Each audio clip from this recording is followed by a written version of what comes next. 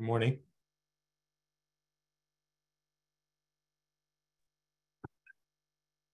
Morning.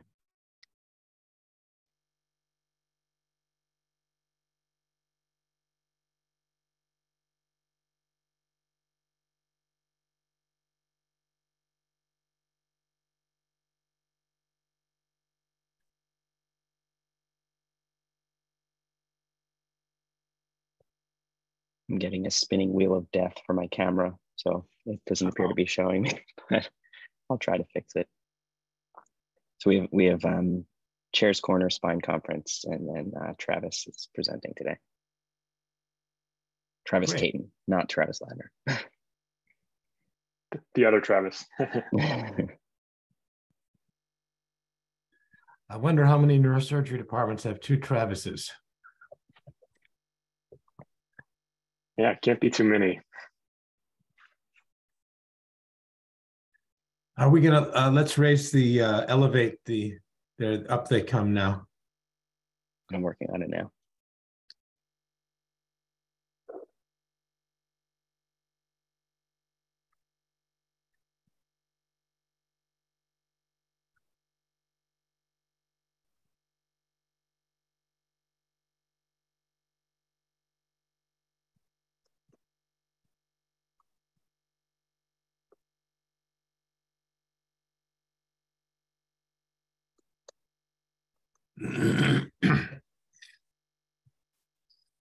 Ray, are you still over at Elmhurst? Yes, I am. How's it going over there?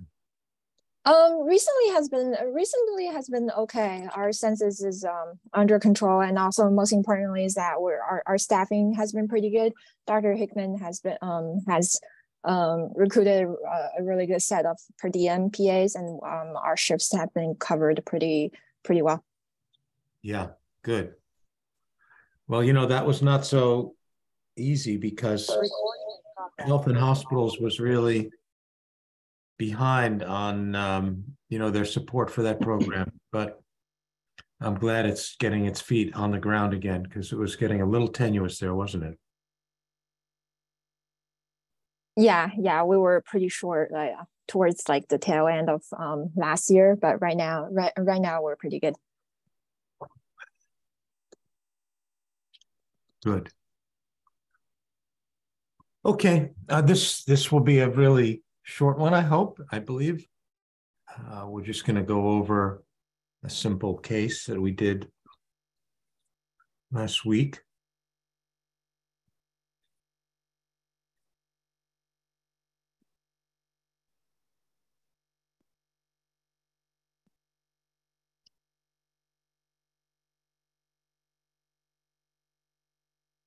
uh, remember to record your attendance.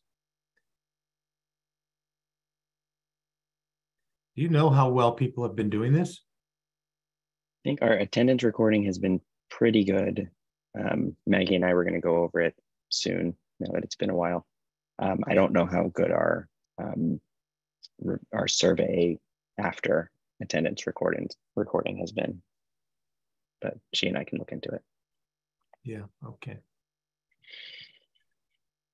Okay, so um, you know, we do a lot of pituitary surgery uh, at Mount Sinai, and this is something that was brought to Mount Sinai by Kal Post in the early 90s.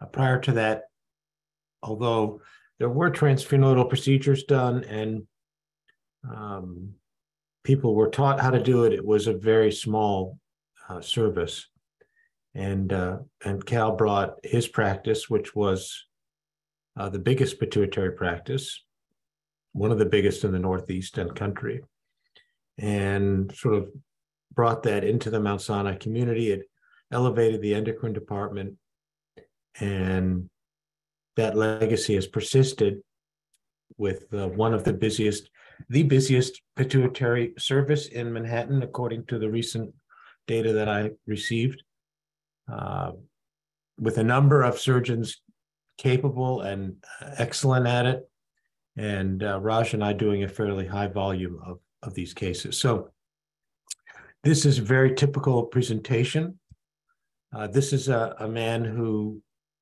was um, did not really recognize the nature of his visual loss, thought that he needed new glasses and went to an optometrist. And it's very common that we get referrals from optometry offices, not necessarily an individual, or but it could be, uh, you know, we often don't even hear the name of the optometrist, but optometrist sees that the visual loss is something that cannot be corrected uh, or recognizes a field cut, and they are trained to recognize the field cut, um, recognizes significant asymmetry in the exam, and alarms start going off. They recommend that the patient, uh, the client, gets an MRI scan or sees a neurologist, which is what happened here, uh, which led to the discovery of this pituitary tumor.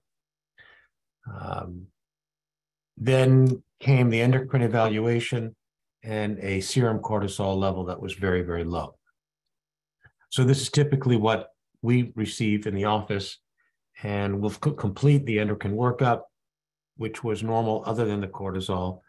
We confirmed a bitemporal hemianopsia, and not surprisingly, the left eye was the one whose acuity was reduced because you can see that this is a um, leftward projecting tumor, not small.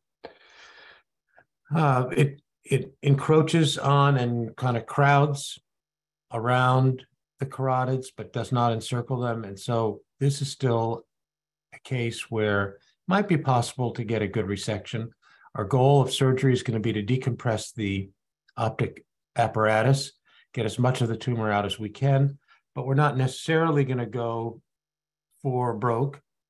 Um, the risks being injury to the oculomotor nerves, the optic chiasm, the carotid, the anterior cerebral perforators, uh, basilar, etc., if we get too aggressive. So just thinking about now whether we're going to be able to get a complete resection, Ray, what do you think some of the factors are other than the ones I've mentioned, what's going to determine how hard or easy it is to get a complete resection of this tumor? Just think about some of the surgical things you've seen so far with me and with others in the OR. Um, yeah, uh, so the biggest thing I can think of is uh, the consistency of the tumor. If it's um, soft and very like easy, easily peeled off and very um, very easily going into the section, that, then that that will definitely facilitate us getting a um, a better resection. But on the other hand, if it's like very firm, a very tough tumor, then um, then that that will get difficult. And also like how stuck it is to the um, to the uh, to the diaphragm. So like we're always um, actively trying to avoid a CS, CSF leak. So if the tumor is also very stuck to the di diaphragm, um, we might we might consider leaving some residual rather than rather than risking a leak. Good. Yeah, excellent. Um, you you said uh, there were two things that you said uh, that I want to bring out. One, uh, and then the other thing that you didn't mention is how vascular it is. I think that mm. sometimes uh, when it's very, very bloody. The, the fine dissection that you would like to be able to do is limited. Um, but you mentioned two things that are, a little bit different from each other. When a tumor is soft and suckable, it gives you one way of removing it. Uh, but you also use the word peel away. Uh, and peel uh, refers to a, a, a membrane, a pseudomembrane, a capsule, a pseudocapsule. Well, it, it, when we use the word peel, uh, we're really talking about prying away and separating a tumor that has some sort of consistency to it from the surrounding structures. When a pituitary mm-hmm. tumor is extremely soft, it's hard to peel it uh, mm. because it's so soft that there's almost nothing to grab onto. And so uh, actually it can be helpful. And we've we've discussed this, I think, when we're talking about removing other benign tumors like schwannomas. That a really truly mushy schwannoma can sometimes be more difficult to remove away from the brainstem than one that has a certain firmness or consistency to it so that you can put a little pressure on one part of the tumor and pull it away and develop that plane between the pseudocapsule and the normal brain structures. So what you're hoping for is something that's soft enough that you can use a curette and firm enough so that you can peel it. Uh, and who knows uh, when you get it, when you're going to get a tumor just like that. Uh, so let's go to the videotape and uh, see what we have here. Um,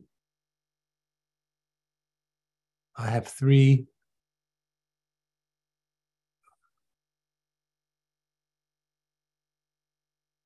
I think this is the early one. Uh, now, I, I did this case, uh, you know, we work with ENT, and in, in general, ENT is going to be holding the scope on the left nostril.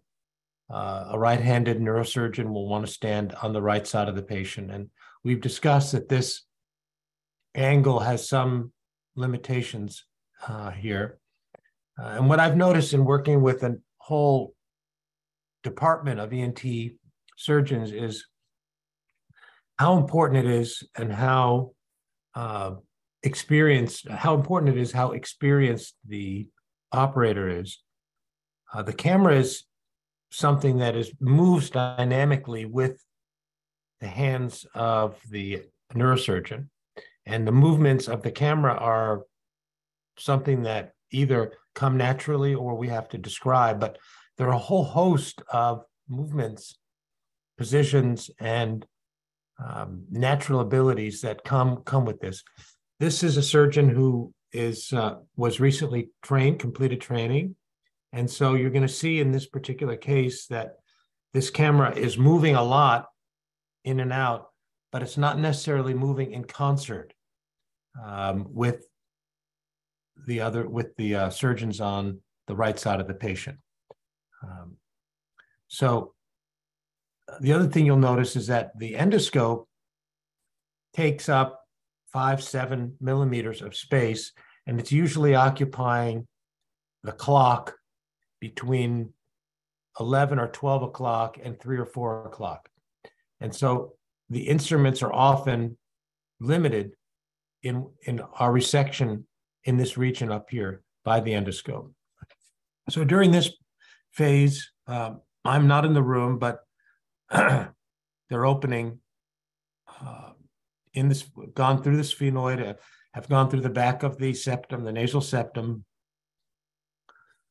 um, have connected the two sides and have opened uh, into the sphenoid and opened the sphenoid widely.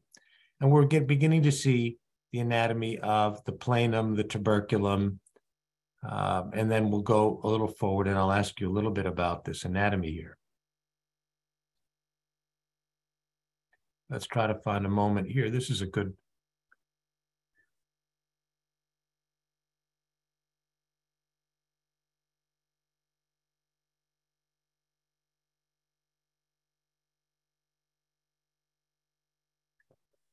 Okay, so um, Chi, are you with us this morning? Yes, I'm here. Okay. Um, what do you think we're looking at right here in the middle? Um, that looks like the sellar dura. Perfect. Okay, so this is gonna, we've confirmed on our stealth, because we use stealth uh, mostly rather than Brainlab for this, um, that this is the midline. Okay, so then uh, going out laterally, what about this here? What do you think that is going to be? Um, that's most likely the carotid. Exactly. Carotid on one side, carotid on the other side. uh, is it covered by bone?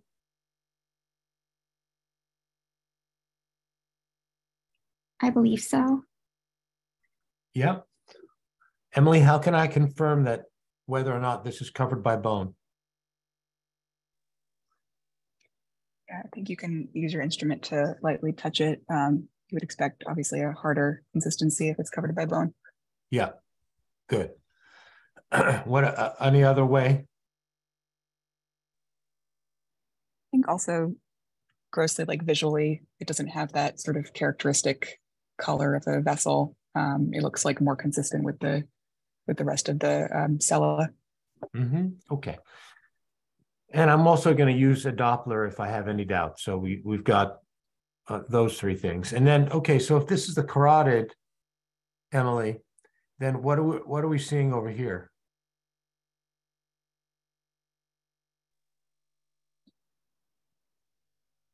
Yeah, that, that looks like nerve to me, and it's it's bilateral, so uh, likely the optic nerve. Okay, well, it is white and nerve is white, but it's still bone. But you're right, though, that that's going to be the medial portion of the optic canal covered by bone, and you've got still some bone and junk in here. But you're going to have two places, uh, one over here and one over here. I don't know how much better we expose those during the case. Uh, let's go to the next.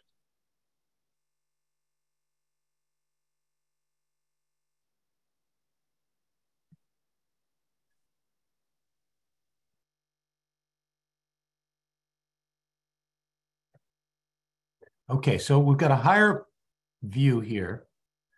And we've confirmed with a Doppler, this is the edge of the left cavernous sinus. This is bone. You see there's a little ledge of bone covering the carotid. Uh, and we've extended our bone opening up to here, and we've done the same thing over here. And this amount of blood and so on, this is a fairly bloody case, but this is a normal appearance that uh, you have plenty of blood in the field during this phase of the operation. Um, so this is an angle. This is a this is a named point here. Do you know what that is, Emily?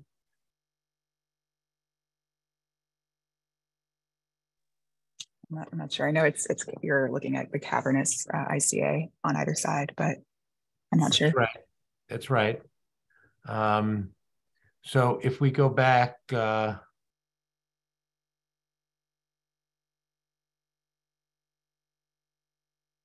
well, I uh, here, let's just pull this guy back up again.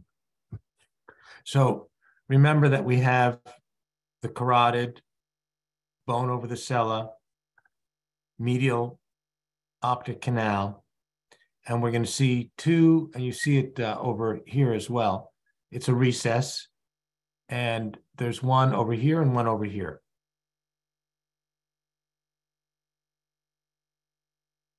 Halima?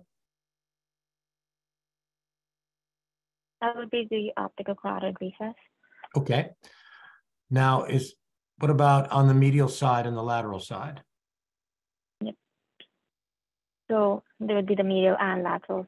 So on the medial side, that would be the medial optical carotid recess, and then That's right. um, The MC, side would be the the MCOR, the medial optical, MOCR, the medial optical carotid recess. Why is that an important landmark? Would you say, Halima? Um, it helps us define our sort of extent of bony exposure because it would let us know that um, we would be able, like lateral to the medial optical carotid recess, um, we would uh, would be our border of would be our lateral border of our exposure to prevent the carotid from being um, exposed. Yeah, so it helps exactly us right. the la- The medial optical carotid recess defines the superolateral limit of a transnasal, transnasal uh, exposure for this sort of surgery. Um, and it's the junction between the optic nerve uh, and the carotid artery, essentially, and the cavernous sinus. There's a little bony ridge that sort of travels between them. That's going to end up laterally being the optic strut. Um, but that's a very important landmark. I expose it on almost every single case. And um, we can expose, we can remove more of it. We can expose the carotid. And I will often expose the entire anterior loop of the carotid. And I do that in order to get the flexibility of retracting it when we're going further out into the cavernous sinus. But on a case like this, We're going to go bilaterally to the optical carotid recesses and then come across the top along the, the tuberculum, basically, and then all the way down. So now uh, let's get back. And, uh, and so that's what we've done here with this opening. You see there's bone covering the carotid up to the optical carotid recess. you can see that our approach is from left to right. We've made the initial opening into the dura, and we're going to start taking out the tumor. And here you see that it's soft enough uh, that you can uh, use the curette. and uh, what have you learned, um, Brendan? What have you learned so far about the order of things in terms of removing a large tumor of this size that you want to do the order of the resection properly so that you can get the most out of it, Brendan? What have you learned about that?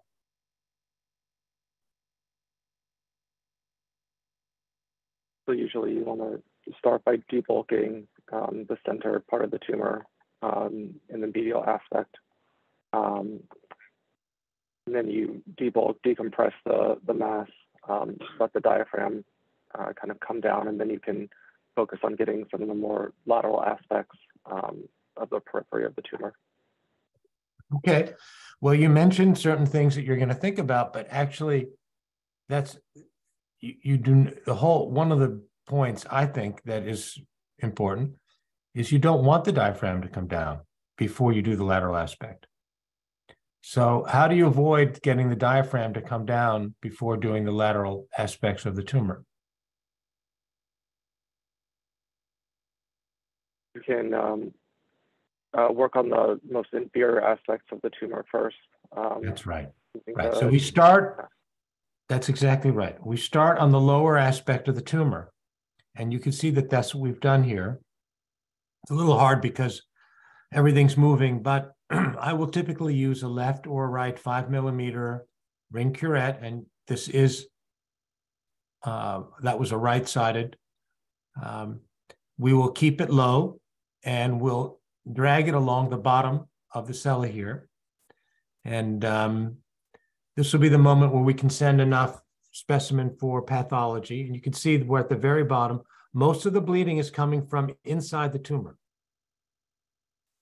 And one of the ways to keep the field clear is to move that sucker around a lot. So I want a pretty large sucker, a fairly high suction, fairly safe to use high suction now. and using the right angled curette, we'll sweep the tumor off the bottom and uh, begin to reach out towards the patient's left side before we have gone into the center, posterior, or superior part of the tumor. And in the early phases, we'll grab a lot of this tumor for pathology, and in later phases, we'll let some of it go up the sucker. Uh, but uh, so we'll progress here, and you see that sometimes there's a lot of bleeding, so that so much bleeding that the sucker won't contain it. And in those cases, you can stop for a while and uh, inject a little surgifoam, but then that'll obs- obscure your view almost as much as the um, as the bleeding. And so you can tolerate a little bit of bleeding, a little bit of irrigation, and you can maybe inject some surgifoam into the epidural space below the tumor. But um, we'll now switch to a left angled curette. So we'll do the same thing on the left side as we've done on the right side, right side of the patient as we do on the left side. Um, and so now We've removed the whole bottom of the tumor from left to right, and we're going to start working our way up the left lateral side and begin to address the center part of the tumor. And we'll start to look for the diaphragm. Uh, and typically we'll see the diaphragm either uh, in the back or the front, but towards the side. And uh, I think in this particular case, we're going to see it up here, right there. We just got a glimpse of it. And I'll go back there and see if I can freeze frame this for you. Sometime there, there's there it is. And you know, sometimes these things just are are quite fleeting, but once you get a sense of it, uh, you know where you're going to see it again. And um, there is a little bit of structure to this tumor so that we can hope to peel it away. You know, it's it's messy, uh, and sometimes these are a little messy until you get the whole tumor out. Uh, but what we're going to do is try to peel it away, and uh, we want to put some counter traction on the the uh, diaphragm, and typically we'll do that by taking a cottonoid, um, as you'll see coming in to the field here. Um, there you see that there's the diaphragm, and um, putting counter traction here with the suction, and this is this is so-called peeling. Um, here the cottonoid's not helping. We've identified a fairly robust 38-year-old diaphragm. Um, and so we're going to peel this tumor away, and I don't want to take up too much more of your time. But um, then the next thing that I often do is coagulate the um, the diaphragm with the Aquamantys, and you can see it right here. Uh, Aquamantys will firm up, thicken, and shrink the diaphragm and allow a more robust dissection. So here you see the junction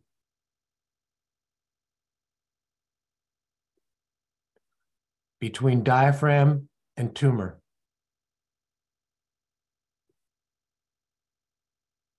There, right there. You see that cleft there? Right here. Diaphragm above, tumor below. And, um, you know, you'll get a sense of what the diaphragm will tolerate. And eventually we can get uh, a better dissection. We're going to come after this last little piece here after we've gotten the rest out. Uh, we'll reach out laterally again one more time. Um,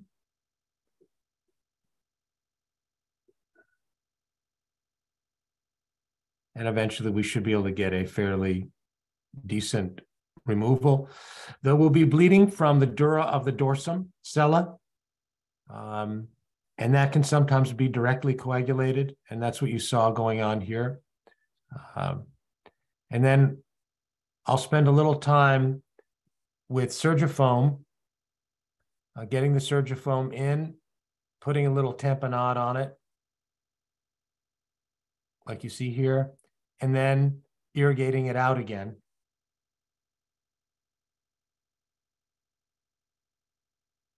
And eventually we get uh, what I think is a good hemostasis and a decent resection.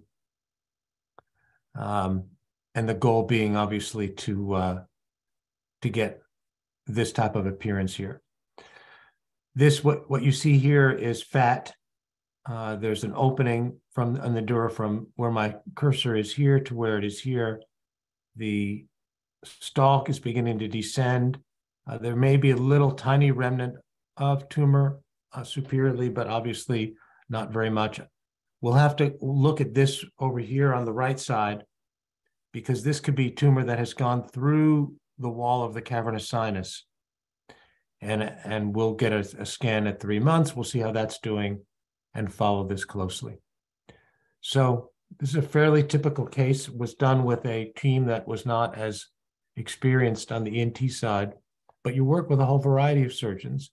And uh, one of the things that works well is if you communicate during the surgery to help them improve their skills and to expose it the way you want it to be exposed and to move the way you need it to be moved. Uh, and you could see even between the beginning of this case and the end that she got much more comfortable uh, as time passed, and I feel like we got a decent resection there. Good. So, uh, do you have any questions? Emily, Chi, Ray?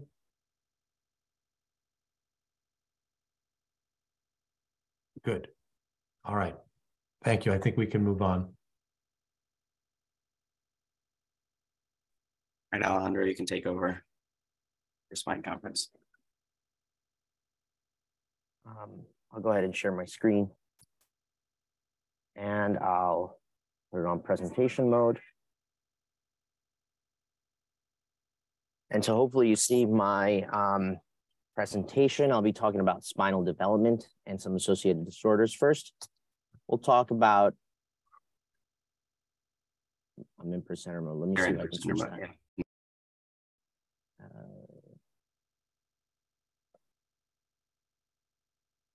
There we go.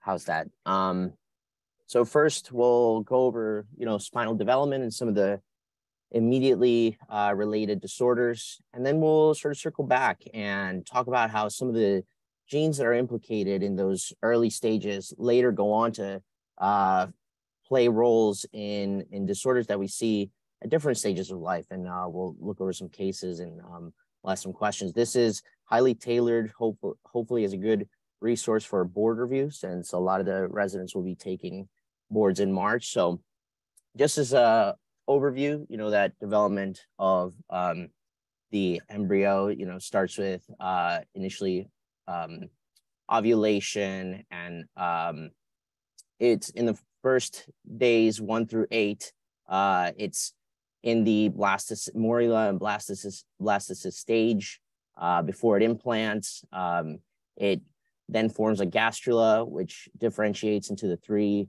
uh, germ cell layers. And uh, your our CNS is uh, formed through neurulation, initially primarily neur neurulation and then secondary neurulation, which we'll talk about some of the associated disorders. Um,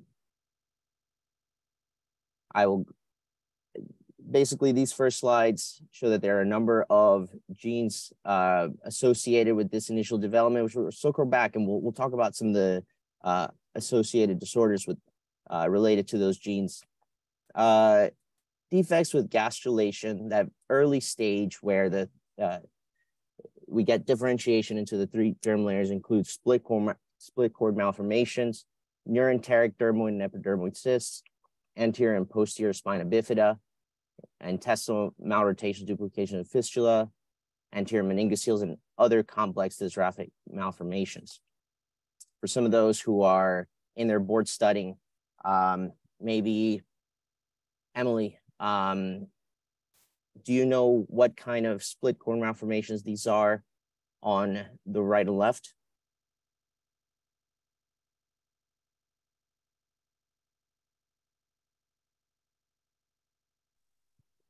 So on the right here, um,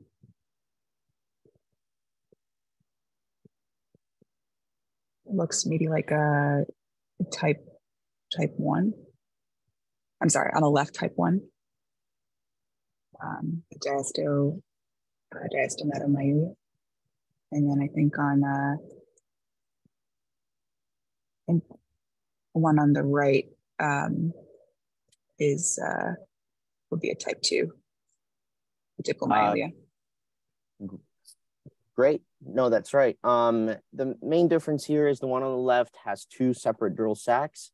The one on the right has one dural sac, but the cord has split in one segment. And so, as you said, there's two types of split cord malformations.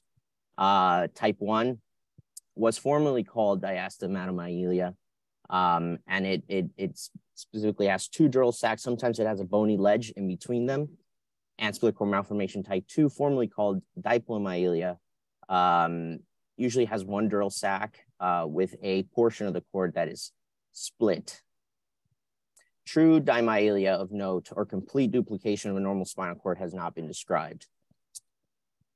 And clinically, uh, we often see tuft of, of hair, and these can indicate a split cord malformation. Um, here uh, in picture B, they point out a sacral dimple that is associated also with a fat, fatty filum terminale. So um, beginning po post ovulation day 17, um, the median hinge point forms to begin folding the neural plate and to begin our process of primarily neurulation and the formation of the CNS. Um, there are additional bending points, and uh, this begins sort of the elongation and differentiation of uh, the CNS. Uh, the anterior neuropore closes, um, you know, uh, around po post-ovulation day 24. Uh, that varies slightly between resources, post-ovulation day 25 and so forth. Um, and uh, this is this manifests as a thickening in the dorsal portion of the embryonic uh, uh, in, in the dorsal portion of the embryonic lamina terminalis. This will essentially form our you know cranial portion of our CNS, um, and the anterior neuropore will then form the three primary buds that will form the brain, cerebellum, uh, brainstem. The caudal neuropore closes around post-ovulation day 26, and it corresponds to more distal portion of the CNS uh, at the S2 level. And this is primary neurulation. Um, defects of the dorsal ectoderm can involve any level in the neuroaxis, and they uh, form dermoid cysts, epidermoid cysts, or dermal sinuses. Uh, defects of the dorsal mesoderm um, turn into either intraspinal lipomas or lipomyelomeningocele. Um, and um, this leads to either an open spinal dysraphism or a closed spinal dysraphism. Uh, open spinal dysraphism uh, have don't have a skin lining over them, so they form myelomeningoceles. Um, Chi, what is a myelomeningocele associated with higher up being shown in that picture as well. Um, like Chiari malformation. Chiari 2 specifically. Um, and then closed spinal dysraphism have a uh, skin overlying them. A, a um, split cord malformation is usually closed spinal dysraphism, but it can um, have an open component. Uh, so it's not always a slow, closed spinal dysraphism. Secondary neurulation uh, begins later, post-ovulation day 25 to 27, and it forms the embryonic tail, so below S2. And uh, rather than a folding, it's more of a um, cavitation. Uh, and then defects involving the caudal cell mass or primitive streak lead to caudal agenesis um, which range from partial to complete absence of the coccyx and sacrum. Um, all right, so I just want to circle back and, you know, there are a lot of genes implicated in all the formation of, of um, the primary germ cells, layers, and then uh, the, C the various portions of the CNS. Here you see WNT1. Um, as one of the genes, um, which is heavily involved in the pre-gastrulation stage. And here in gastrulation, I want to point out hedgehog, which is involved in ventralization. Those two genes um, we see in a condition which uh, a, is divided into four groups. Um, and two of the groups um, uh, correlate to those genes, Wnt and Sonic Hedgehog. Um, and I'm wondering, maybe Halima, do you know what we're talking about here?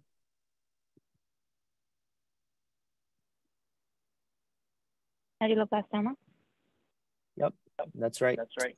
Good. So um, medulloblastoma is divided into these four groups, and they're thought to each derive from distinct um, cell uh, cells of origin. Do you know which one has the better prognosis, which one has the worst prognosis?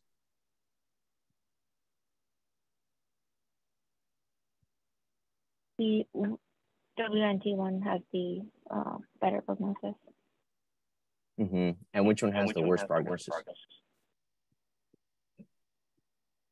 The G3 and the G4. Yep, G yep. G G three is uh commonly um, you know, taught to have the worst prognosis as, as seen down here in this, um, in this chart. So that is commonly asked.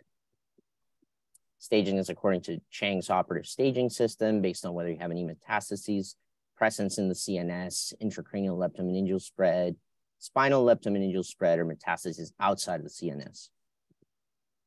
Um, we also, there was a gene um, um, involved in the pregastrulation stage named brachyury, um, which is part of that same pathway as the Wnt gene. And uh, we see uh, commonly discussed uh, with another condition. So a, pa uh, a patient uh, shown in the scans below uh, is sent to your spinal clinic. And um, this uh, tumor was biopsied and has strong brachyury overexpression. Um, what um, what are you what are you treating here, um, Alex?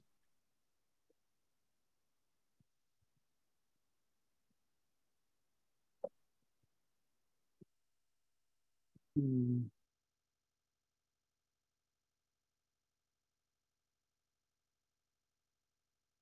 Here.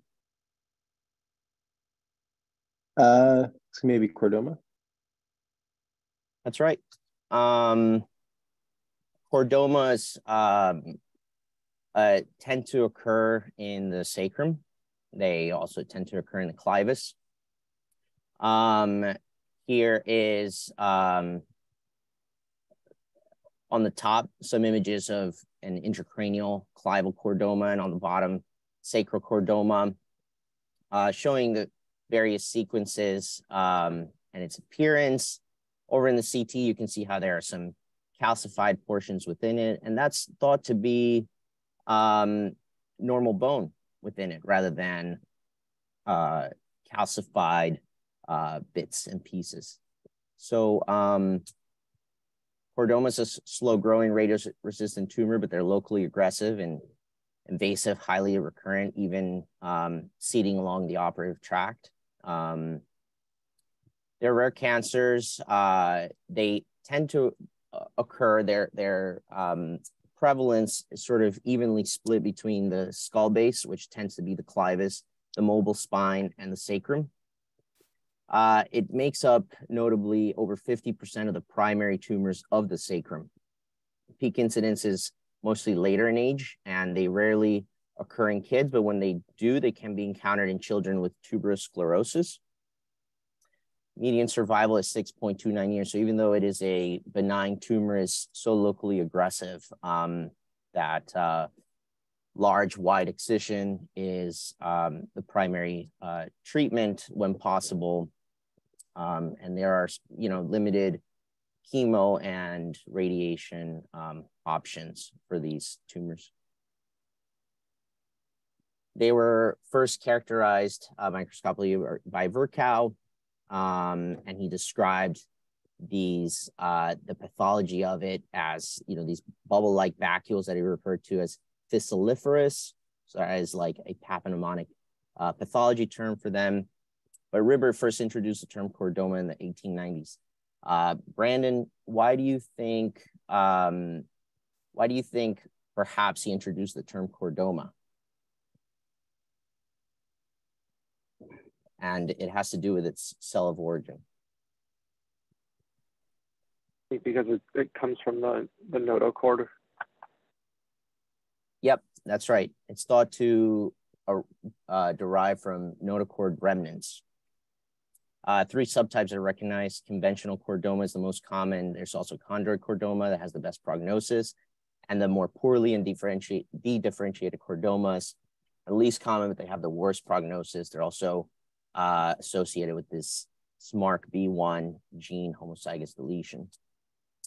Brachyury uh, is also has also been implicated in a number of other cancers. Um, just so you know, and it's usually its overexpression is uh, correlates with worse prognosis. Um, going back to gastrulation, I also just want to um, point out the HOX gene here, which is implicated in left and right symmetry. Um, and interestingly, lumbosacral transitional anatomy um, has, uh, there's uh, studies suggest that has a genetic component involving the HOX genes. And mutations in these genes may play a role in the formation of the lumbosacral transitional vertebrae. Uh, lumbosacral transitional vertebrae are seen in about a quarter of people. Sacralization of L5 is much more common, about 17% of the population, while lumbarization of S1 is only about 2% of the population. And the prevalence is higher in men compared to women. And sacralization, the more common of the two, is more common in males, while accessory L5S1 articulations and lumbarization of S1 are more common in women. And um, low back pain in the presence of these uh, lumbosacral transitional vertebrae was originally noted by Mario Bertolotti and termed Bertolotti syndrome. Um, there is a Castellvi classification, um, which uh, classifies them primarily into three types, uh, where types A are unilateral, types B are bilateral. Um, type 1A is just a enlargement of the transverse process of at least 19 millimeters. Type 2 is an actual um, uh, pseudoarthrosis or pseudoarticulation. Uh, type 3 is a complete fusion of the transverse process to uh, the, the sacrum. And type 4 is a combination of type 2 on one side and type 3 on the other side. Um,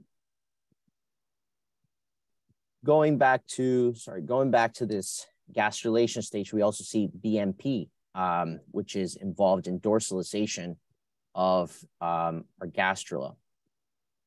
Um, this has that has been implicated in this condition. Um, this patient is referred to your clinic because of myelopathy, and um, what strikes you about these the CT scan, Noah?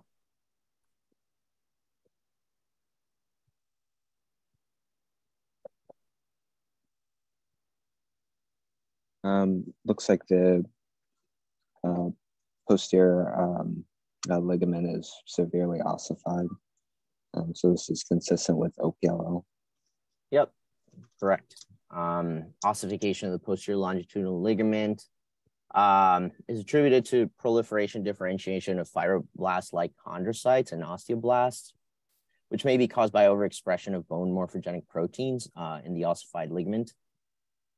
Uh, and so rather than um, well-organized fibers, you get this cartilaginous tissue with um, centers of hyalinoid degeneration and ossification.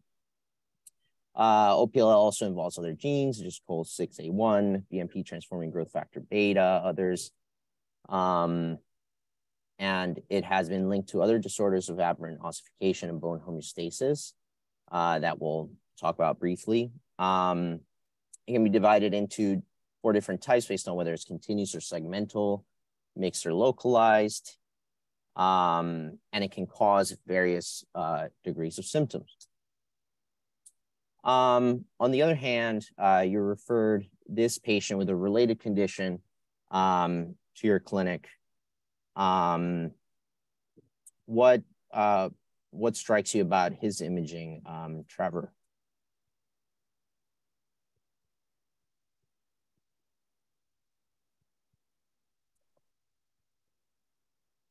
Um, you can see at C, uh, well, he's got tons of DISH uh, anteriorly, he's got a fracture um, at uh, C34 through that um, ossified anterior longitudinal ligament. Yeah, that's right. Um, so rather than PLL being ossified here, the ALL is um, severely ossified. And as you said, this is known as diffuse idiopathic skeletal hyperostosis or Forestier disease, um, which is ossification of that ALL. And it, it involves the formation of these enthesopathies. Um, there's also there uh, of note, there's no involvement of the sacroiliac synovial joints in these patients. Um, and yeah, you mentioned an uh, a good finding at three four, which is an interruption of that. Um, Um, sorry, I seem to be. Let me, let me go to this slide here. Um, and we'll talk about this in the um, in the context of ankylosing spondylitis also. But since you mentioned it, there's almost like this Anderson formation, uh, which we'll come back to in a moment. Um,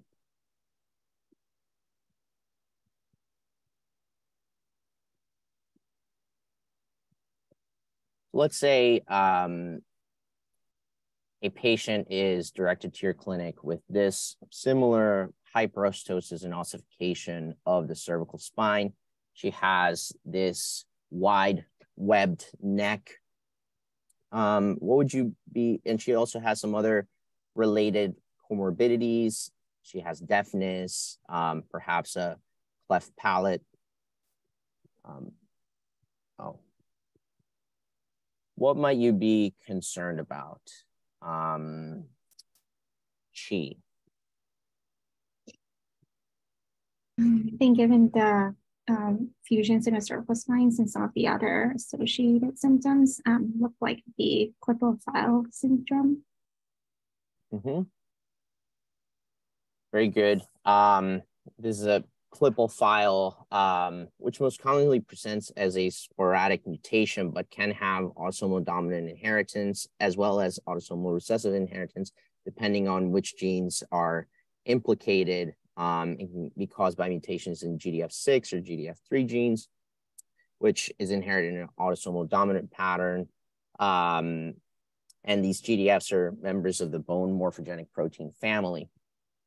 When it's caused by mutations in the MEOX1 gene, it's inherited in an autosomal recessive pattern.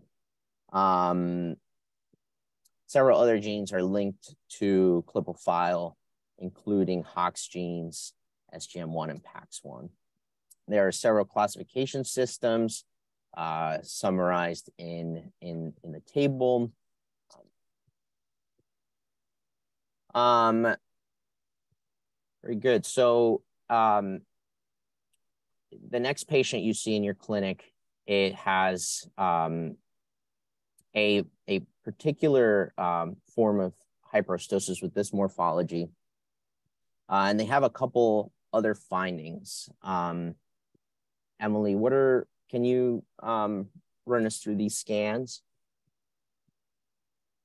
Sure. So um, that lower left image, um, uh, definitely seeing um, just this like overall straightening um, of the, uh, I think it's probably thoracic spine um, with uh, just not a lot of, uh, yeah, like I said, it's just straight between the vertebral bodies and the uh, and the, the discs.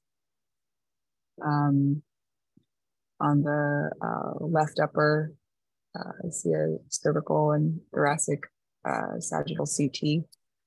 Um, notable for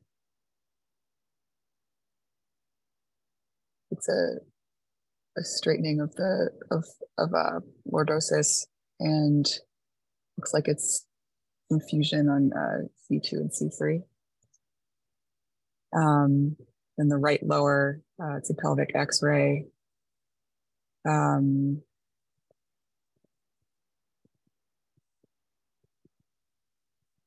I think it's. I agree with uh, everything you're saying. Do you know what condition this patient might have? Yeah, I think it's. I think it's very likely ankylosing spondylitis. I think the biggest giveaway is the is the bamboo spine on the uh, that left lower panel. Um, perfect. Yeah, that's the textbook term to sort of describe um, this uh, appearance of the spine where all the various segments have fused together, um, creating this bamboo appearance. Um, on the upper right, um, do we, Brandon, do you know what what this image is showing?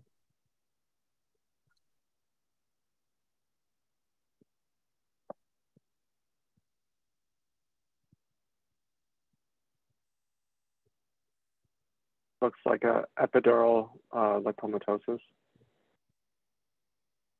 Okay, well, I didn't show you some of the other sequences that might help you differentiate that. Um, but this is actually showing dural ectasia. So it's like a, an enlargement of the dural sac. Um, and down on the bottom right, this is showing you a, a, a x-ray of the sacrum and, pelvis, at least the right SI joint. And you basically don't see an SI joint, it's fused. Um, and this is central to ankylosing spondylitis. Uh, it, it, it's fairly common, affects one in 200 individuals. Um, and uh, it often um, occurs with other peripheral arthritis. Um, it can also occur with uh, uniocular anterior uveitis that can be treated with corticosteroid drops. Um, these patients also have a risk of developing apical pulmonary fibrosis as well as aortic valve incompetence. Um, and um, they usually develop late in the course and are often asymptomatic. Um, also, poor osteopenia and osteoporosis commonly occurs uh, with these patients that increases their risk of vertebral fracture. Um, ankylosing spondylitis has a strong association to HLA-B27. Um, and as, as, as mentioned, um, it often involves the sacroiliac joint um, and uh, causes um, the sacroiliitis and eventual fusion of the joint. Um, so a pelvic x-ray or MRI is often um, used. As you can see here on the right, we have some of the diag diagnostic criteria and the sacroiliitis um, is a, um, a, strong supporter of ankylosing spondylitis. Um, patients create these syndesmophytes, which are different than osteophytes, um, rather than you know this this degeneration and sclerosing of the end plates. You get um, what what are called these Romanus lesions, and in early disease, you can see that sometimes in X-ray. Um, as this sort of um, lightening lightening of the of the of the tips of the end plates, which then over time sort of fuse together um, with the adjacent vertebral segment. And this creates one big fusion body in the spine. Um, and as mentioned, you know, these patients are high risk for fracture. And um, they often develop these fractures seen here, which are termed carotid uh, carrot stick fractures. If you can just imagine a carrot snapping. Um, and sometimes these stress fractures heal over time to form these Andersson, Andersson lesions. Um, so we, we talked about dural ectasia, and dural ectasia is associated with a number of syndromes and disorders from Marfan or Ehlers-Danlos connective tissue diseases to NF1, ankylosing spondylitis, oste osteogenesis imperfecta, trauma, uh, post-surgery. Um, so let's say that you get a patient in your clinic who is referred to you for scoliosis. Uh, you can see on the bottom left has a really severe uh, scoliosis. It's surely notable um, externally. Um, and even though this is not uh, a picture of this same patient, uh, your patient has these similar spots as well, seen on the upper picture. And you notice some uh, a particular appearance in their eyes, and they also have um, these associated findings. Um, Halima, um, what what are what are some, what are some of these findings? So the the skin pigmentation in the middle panel uh, looks like cafe au lait spots. Um, and then the eye findings um, look like uh, pigmentation in the um, iris. So um, be like these nodules. And then seems like on the CAT scan, uh, patient has an uh, optic uh, uh, tumor optic a tumor of the optic nerve could be an optic glioma, and then on the bottom panel uh, also has dural ectasias, um, as you showed uh, in the previous slides.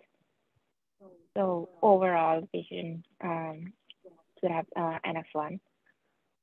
Yeah, very good. Yeah, very good. Um, and I'll try to go quickly because I think we're we're uh, out of time. But that's exactly right. And F1 or von Recklinghausen's disease, which is autosomal dominant, with uh, implicates the NF1 gene in chromosome 17 and the neurofibromin gene uh, tumor suppressor gene. Um, and these are cafe au lait spots seen here. These um, are uh, skin cutaneous neurofibromas. These are Lisch nodules. You pointed out the optic glioma. Um, and these patients often, uh, or they can have sphenoid dysplasia as well, uh, which can also be seen in this CT scan. Um, as mentioned here, um, these are just pictures of neurofibromas. Um, we recently had a patient on the spine team um, who had these lesions.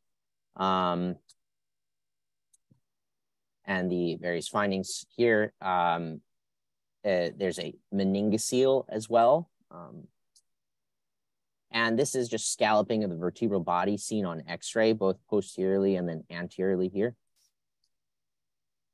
Now you are referred this patient uh, with a, um, which has two, two different patients that you see back to back and uh, one at the top um, with these large lesions uh, next to the spine and intracranially, and then this patient with one spinal lesion and um, these two sort of pathognomonic lesions intracranially. Chi, what, what uh, do you have to suspect in these patients? Um, I think looking at a scan at the bottom right, um, looks like uh, potentially bilateral uh, vestibular schwannoma. Um, that would make me think about NF2. Perfect. So NF2 also autosomal dom dominant uh, with uh, the NF2 gene on chromosome 22. It implicates the Merlin tumor suppressor gene, uh, and bilateral vestibular are pathognomonic for it. Uh, so that gives you your diagnosis, um, quick review of the uh, pathology of the schwannoma. You know, you see the school of fish and then the Antoni B and Antoni A um, uh, portions of it, where Antoni B is sort of this loose uh, on the right hand image, the left part of the image, and the Antoni A are these tightly uh, packed um, cells. And Verocay bodies seen here. Uh, and then meningiomas, um, you know, there's many different types of meningiomas with um, various pathological findings, but they commonly have psammoma bodies and whorls. Um, and just quickly to um, go over tuberous sclerosis or Bourneville disease, it's also autosomal dominant, either the TSC1 gene or the TSC2 gene, um, implicates the mTOR pathway. Um, uh, Emily, do you know what mTOR stands for? Um, it's a signaling pathway. Um, uh, the M is mechanistic and then target of uh, rapamycin. That's right. So it's it's the the medicine that targets it um, is in the name of the gene. So rapamycin or sirolimus um, or it's uh, uh, uh, or everolimus are used as, as medical treatment for tuberous sclerosis um, can have these various findings. Um, we here you can see cortical tubers, uh, SEGA, as well as um, cutaneous angiofibromas. You can also have subungual angiofibromas seen in the left lower image, shagreen patches, which is left upper image, ash leaf spots, or adenoma sebaceum, which is, are these cutaneous angiofibromas. Um, uh, last question. Um, Emily, do you, looking at these set of images, do you know what this patient might have and what you might expect this spinal lesion to be? Um, so, in particular, looking um, uh, at the appearance, it's pretty uh, heterogeneously enhancing. Um, in the cord as well, and then also these cerebellar lesions, um, multiple lesions. Um, looks like in the kidney as well. All this together, I think there are likely these multiple hemangioblastomas um, that you would expect to see um, yep. in uh, in VHL. Perfect. Yep. So you see this um, large heterogeneous cerebellar tumor uh, along with liver cysts or pancreatic cysts and liver cysts. Um, and you see a spinal lesion, which uh, based on this, um, uh, all putting all this together in its entirety, you can expect to uh, likely be a hemangioblastoma as part of VHL, which is autosomal dominant and chrom implicates chromosome 3. Um, it can uh, have cerebellar uh, hemangioblastomas, which are were um, historically termed Lindau's tumor. It can also involve retinal um, hemangioblastomas, which were historically termed von Hippel's tumor, as well as kidney pancreatic cyst, kidney cancer. Um, so great job, everybody. Um, that's all I have. And thank you very much. Hope that helps for the boards.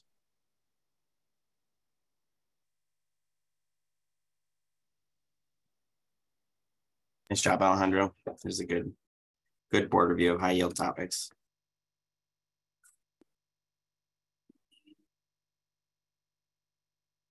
All right, so today we have uh, one of our new, newer, newish faculty members, Dr. Travis Caton, who is uh, an assistant professor of neurosurgery and specifically specializes in neurointerventional surgery. He did his training first MD at Columbia, followed by radiology residency at Brigham and Women's in Boston, and then a diagnostic neuroradiology fellowship at UCSF.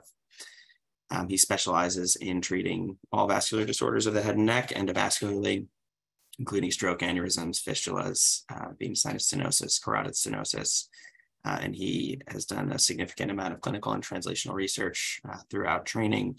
And today we'll be talking to us about um, pulsatile tinnitus.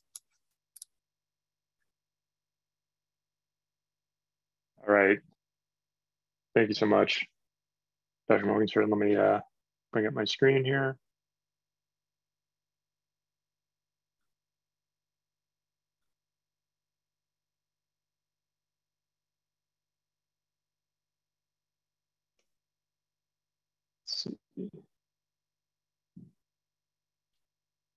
All right. Am I in presenter mode or can you see my, my slides normally? Slides are good.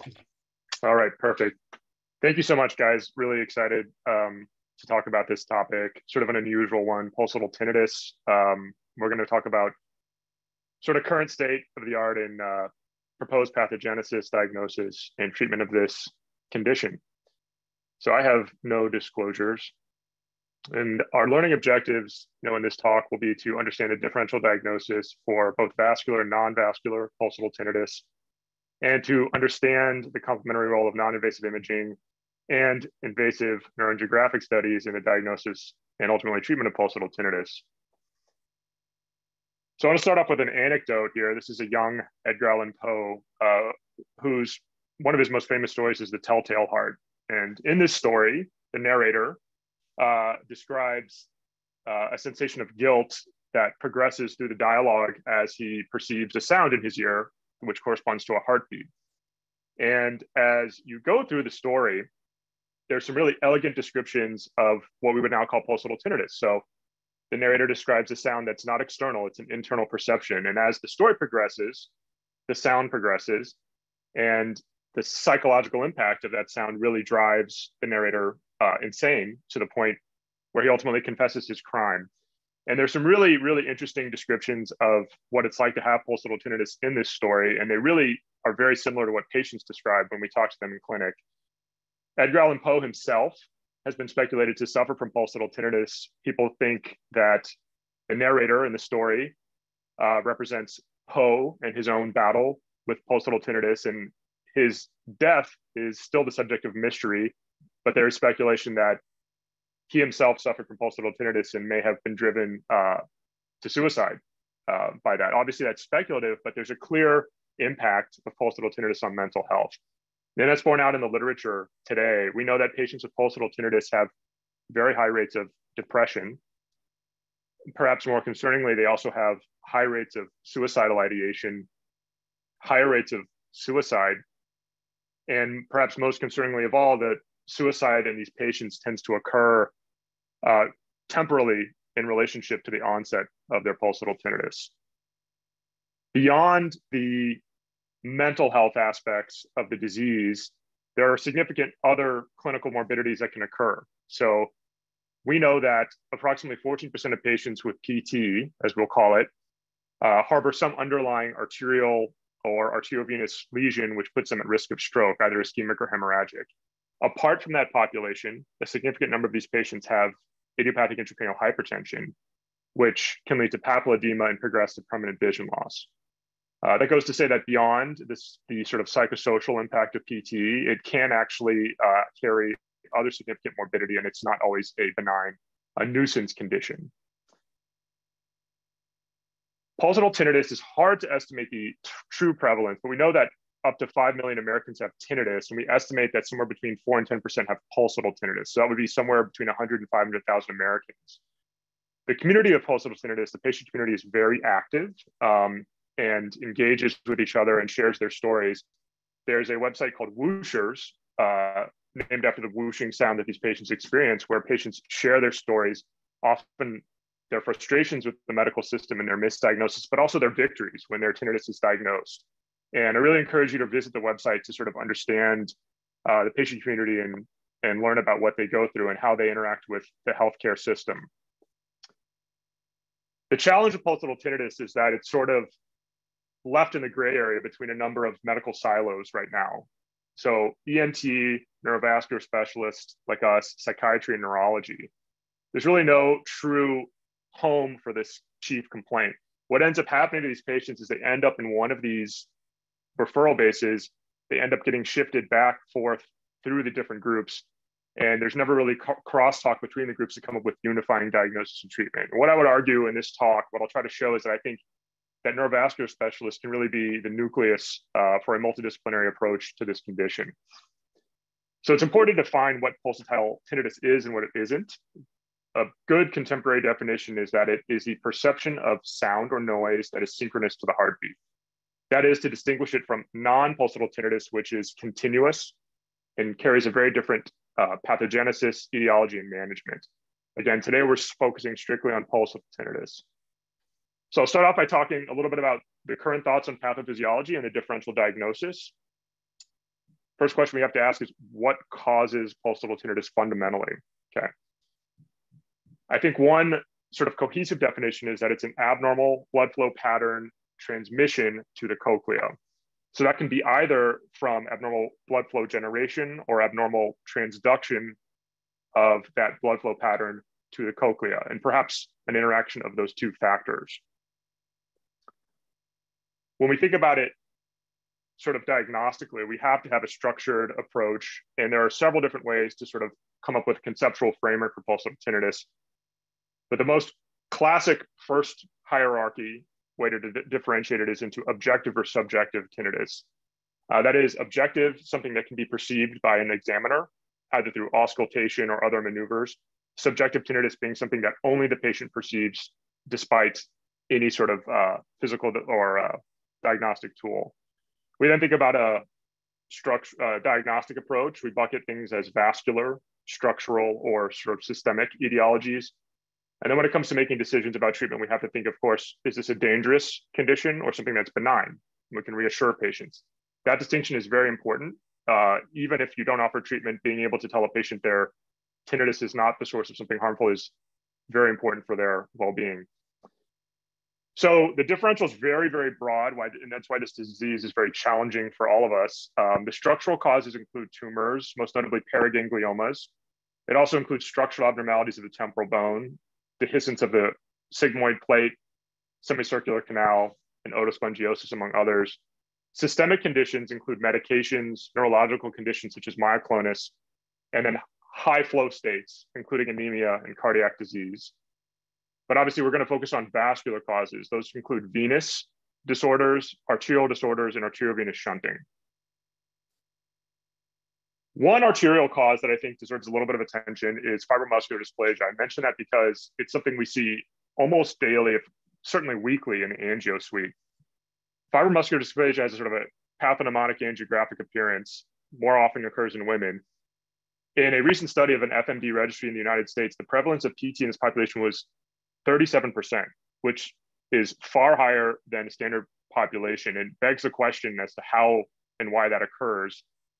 They know in this study that on a physical exam, patients who had pulsatile tinnitus and fibromuscular dysplasia more often had carotid bruits. So the speculation is that the arterial wall abnormality produces some sort of turbulent flow that's transmitted to the carotid artery at the level of the petrous bone, producing the tinnitus. Arteriovenous fistulas, of course, are the sort of most intuitive cause of pulsatile tinnitus. They're not the most common, but this is clearly due to transmission of arterial pressure and blood flow patterns to the veins. PT may be one of the presenting symptoms in up to 90% of patients with transverse sinus fistulas. It's also very common in fistulas of the uh, skull base, including marginal sinus and condylar canal. On the images here, you see as a patient with a, a hypoglossal canal fistula that I treated as a fellow. And this patient's only presenting symptom and only symptom at all was pulsatile tinnitus. And that brings me to the final point here, which is that PT may be the only presenting symptom in up to 14% of dural fistulas. So when you have a patient with PT, that may be the only sign or symptom they're going to present with uh, for a dural fistula, which could potentially be high risk for hemorrhage. So going back to the pathophysiology, presumably an arteriovenous fistula creates pulsatile tinnitus through increased um, uh, pressure, turbulence, and stress along the venous uh, wall. One moment here. And the shunted blood uh, then must result in the transmission of this arterial pulse to the cochlea. That seems more straightforward, but in venous pulsatile tinnitus, it's a little bit less clear. Working along the same lines of what we think causes arterial venous shunting tinnitus, uh, we have to infer that something is causing there to be increased pressure, wall shear stress, and turbulence in the veins. So we'll go through what might cause that. But first, we have to sort of think about what normal venous flow uh, looks like. So unfortunately, there are very few studies of normal dural venous flow uh, in control patients. But of the ones we, we have, we have several sort of theories as to what that flow should look like. Essentially, it should be laminar or non-turbulent. There should be minimal pressure, pressure gradients all the way from superior sagittal sinus to right atrium. And the wall shear stress should be nearly homogeneous throughout, with maybe a few exceptions. One study from my old group in San Francisco looked at 10 controls and found no abnormal flow jets or rotational flow in control patients. This is an example of a flow model of a, a control. A more recent study uh, found similar normal uh, velocity and flow patterns in control patients. What they did notice was that there is one area that tends to have a little bit higher wall stress on the superior aspect of the distal transverse sinus and they infer that that's sort of a normal offloading point for wall shear stress um, in normal physiology. But that's again very small compared with what we'll see shortly. Venous sinus stenosis is uh, far and away the most common uh, venous cause of pulsatile tinnitus. There's unfortunately no consensus definition of this. It's very hard to measure and define. It's dynamic it's largely classified as extrinsic or intrinsic. Intrinsic causes of stenosis would be something like clot or an arachnoid granulation, whereas extrinsic stenosis would be due to typically elevated intracranial pressure, which results in that ribbon-like smooth tapering of uh, the venous sinus that we see in IIH. Some people define it by a pressure gradient. There's various cutoffs, eight millimeters mercury is one that's commonly used. But again, this is a common finding in asymptomatic patients, but it's much more common in patients with pulsatile tinnitus. And it's extremely common and almost characteristic of idiopathic intracranial hypertension. Flow models show that these stenoses really do result in increased velocity and post-stenotic turbulence in accordance with sort of Bernoulli's law. And that's what we think is a primary generator of tinnitus in this uh, pathology. A related pathology is something called a sigmoid sinus diverticulum, which used to be called venous aneurysm of the sigmoid sinus. These are uh, focal outpouchings at the transverse sigmoid junction. Um, they look almost aneurysmal, hence the name. These uh, have been proposed to be a repository for that post-stenotic turbulent flow. And because they project right into the mastoid air cells, it's believed that that turbulence within this diverticulum is transmitted more directly to the cochlea. Continuing down the dural venous sinus is the jugular bulb. High Riding jugular bulb slash diverticulum is sort of a spectrum of the same pathology. Now this occurs right at the jugular foramen. Uh, here you can see an example from the literature of a normal jugular bulb versus a high riding jugular bulb. This has been associated with pulsal tinnitus as well, but it's very common in asymptomatic patients. Flow models have looked at controls and patients with these so-called high riding jugular bulbs. And basically what they show is that the pattern of blood flow, the velocity of a fluid through the uh, high riding jugular bulb basically takes longer and results in more turbulence and sort of a helical, helical pattern of turbulence within the jugular bulb that's not seen in patients with so-called normal anatomy. So that brings me to sort of the next cause, of what I'll call a venous etiology of pulsal tinnitus, but this was conventionally thought of as a completely separate entity. That's sigmoid sinus wall abnormalities. These are basically dehiscences, loss of cortical covering of the sigmoid sinus and or the jugular bulb, resulting in contact of the vein with the mastoid air cells and or the cochlea. Uh, this has an extremely strong correlation with intracranial hypertension, and more recent studies have suggested that it may actually be caused by pathologic venous flow rather than a separate and independent entity. So what you can see here, the blue uh, dural sinus model, uh, the white part of it is the area of focal bony dehiscence, cortical dehiscence. And what they showed is that in flow models, those areas of cortical dehiscence colocalize almost exactly to areas of abnormal uh, venous pressure. So we're sort of creating a story here where stenosis leads to turbulence, leads to diverticula, leads to bony remodeling, bony thinning. All of these things are sort of in the same spectrum. Now, how do these relate to intracranial hypertension? We know that in intracranial hypertension, CSF drainage, CSF diversion improves uh, clinical symptoms, headaches, uh, papilledema. But what's we've learned more recently is that CSF drainage actually also improves venous sinus stenosis measurably. This was a study done at UCSF where they took a patient with IIH and did imaging before and after a lumbar puncture. And what they showed was that not only did the venous sinus stenosis caused by an arachnoid granulation improve on an immediate MRI after lumbar puncture, this was a large volume uh, lumbar puncture, but the caliber of the vein also improved, as did the pressure gradient and the velocity patterns.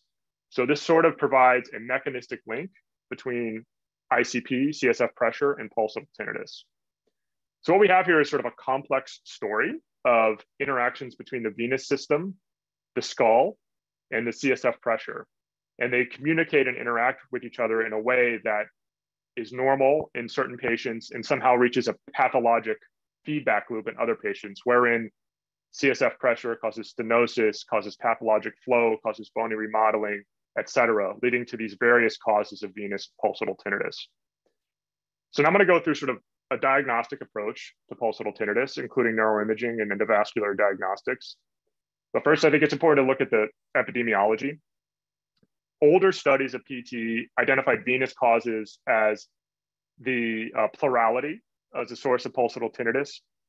But a much more recent study uh, from NYU uh, came to a sort of a similar conclusion, but a different interpretation. Uh, uh, they identified venous sinus stenosis as the most common cause of pulsatile tinnitus, up over a third in their population of over 200 patients. Whereas in the 2008 study, which is from the ENT literature, it was about 3%. So did something really change here, or are we just changing the way we understand the disease? And I think it's the latter. We're really recognizing that venous sinus stenosis is the underlying cause in what was previously labeled uh, independent uh, bony disorders. In our own experience at UCSF, we looked at 164 patients who went to the angio suite for evaluations. This is a filtered group of patients who had high suspicion for vascular PT. And what we found was that with proper diagnostic workup, we were able to identify a source of pulsatile tinnitus in about 75% of these patients. We were able to rule out the vascular cause in the other 24%. Of the patients with a vascular cause, about half had a venous etiology, 20% had an AV shunt, 7% had an arterial cause. But the most important, I think, takeaway from this study was that 14% of patients in this population had a PT mechanism that put them at a higher risk for either intracranial hemorrhage or ischemic stroke. So again, PT is not a benign nuisance. It can be a symptom of a dangerous underlying uh, pathophysiology. In working up these patients, a good clinical history is important. You want to get an idea of the onset of the pulsatile tinnitus, the severity. You can use a simple zero to 10 VAS. The laterality can help you localize the tinnitus, and the pitch can be very helpful. I'm going to see if I can play an audio clip of. So this is a patient with an arteriovenous fistula. You hear a crescendo, decrescendo whistling very characteristic of an arteriovenous shunt, whereas this is a patient with venous sinus stenosis.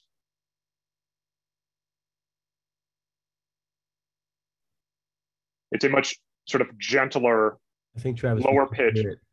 Oh, you can't hear it? I think oh no. if you have your headphones on, it might be going in your headphones. Yeah, try replaying.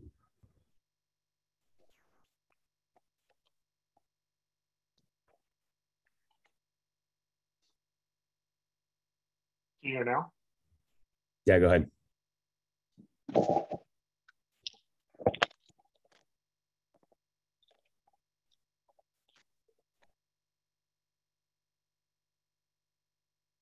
Yeah, try playing it now.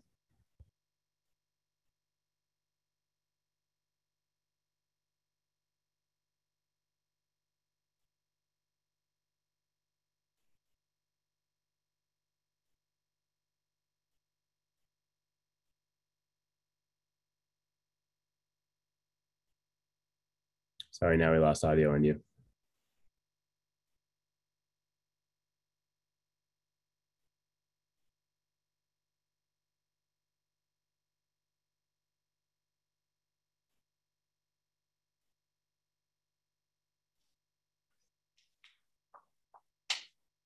All right, can you hear me now? Yeah, we can hear you.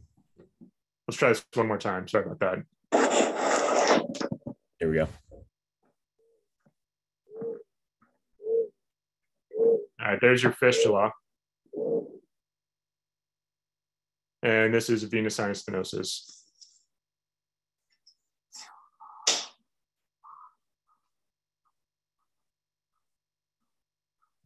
So these were actually published on whooshers.com by patients um, using their own iPhones to record their sounds. So we can actually get much higher quality uh, representations of the sounds using um, uh, canal uh, microphones as a new technology. It's important in these patients to also establish the impact of PT on their quality of life. There are a number of uh, instruments you can use, and it's important to establish this to guide your own treatment effect and follow up your patients. The one that I think is the best is called the Tinnitus Functional Index. It's brief, well validated, reproducible, and good, robust to measuring treatment effect. It also correlates with older uh, PT questionnaires that were used in the past.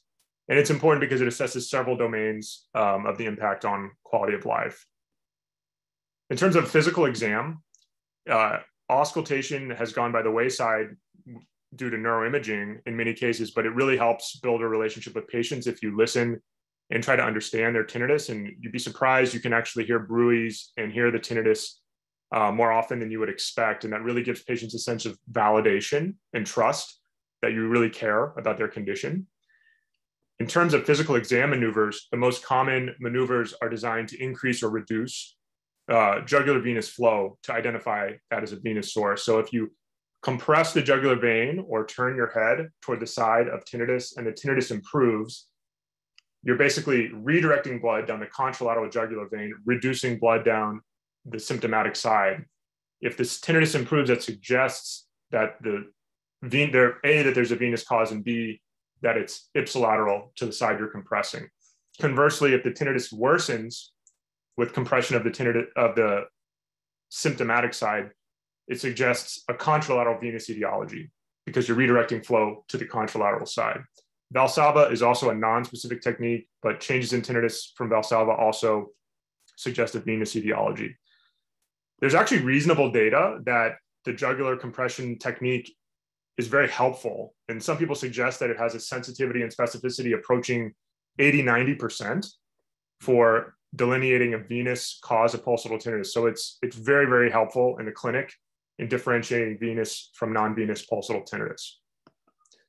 Audiologic testing is helpful as a baseline uh, through ENT, This includes standard testing, as well as something called transcanal recording, which I was alluding to earlier. Rather than putting an iPhone by your mastoid process, they put a small microphone that's dampened into the ear and measure directly the sound in your external auditory canal. And you can create these frequency maps here, which correlate with the sound patients hear. And it also correlates with treatment effect. So that's one way of objectively measuring your the impact of your treatment on a patient's pulsatile tinnitus. It's also important to identify conductive hearing loss, which generally indicates enhanced perception of sound, can be seen in otospongiosis, and sensory neural hearing loss, which could cue you into the presence of a tumor. Again, it's important to try the best you can to identify the patient's sound because identifying the pulsatile tinnitus that's been told it's in the patient's head really helps you build rapport and trust with that patient. All patients who have any suspicion for IIH in this population should undergo a workup for the modified Dandy criteria for IIH.